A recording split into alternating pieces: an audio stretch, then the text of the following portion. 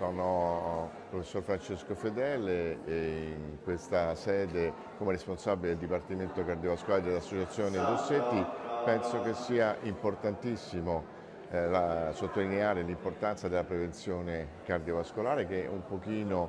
diciamo, relativamente sottovalutata rispetto ad altri tipi di prevenzione. Ricordo per esempio che ultimamente sono stati eh, approvati gli screening per diabete tipo 1, per la celiachia, mentre non abbiamo degli screening per la patologia cardiovascolare, non abbiamo screening nelle scuole